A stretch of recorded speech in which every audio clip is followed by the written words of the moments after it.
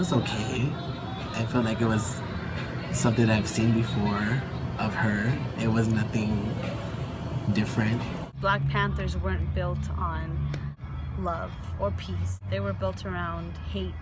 The whole Black Lives Matter, I get it, but I don't think it should just, just be focused on the whole Black lives. Getting at the heart of Black Lives Matter, Beyonce being unapologetic about her identity and her roots. I believe the Black Panthers should be honored. It was very um, politically charged. It was empowering for black women. Every race has the right to also say what they feel and what they're entitled to.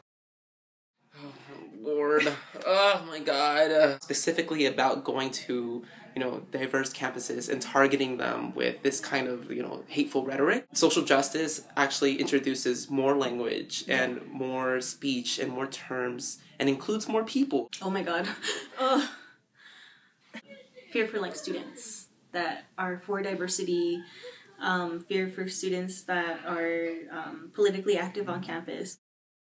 I have no judgment over Disney princesses.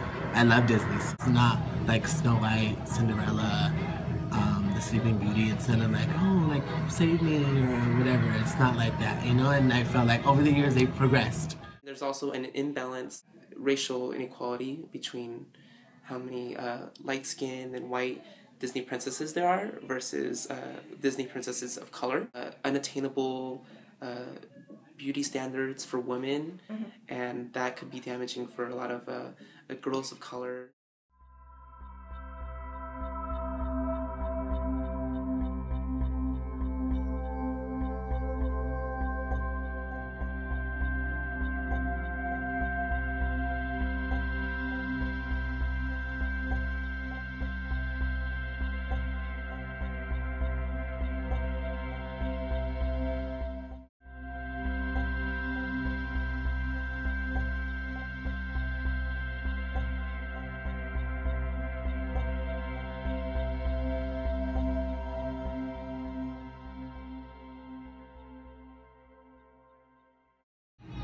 I mean, obviously it's the woman's fault.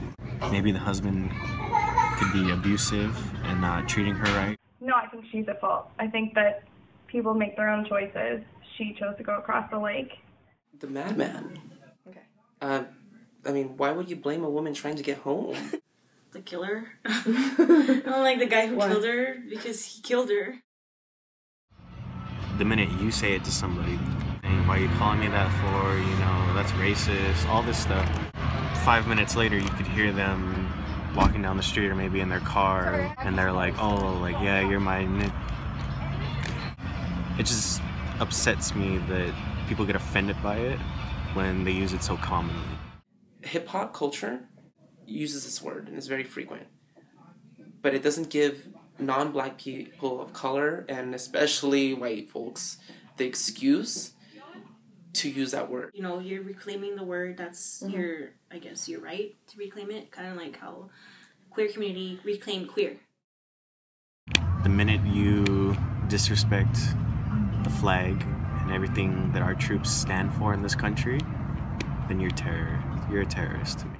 When I hear the word terrorist, my mind jumps to the Oregon militia, the governor Rick Snyder that destroyed Flint. Flint, Michigan, they poisoned the water. It was a movement with a good meaning behind it, and it had a message, and then Rihanna hijacked it. They don't incorporate like trans people or gender nonconforming people. Overly sexualizing and overly fetishizing fetishizing women for the benefit of men.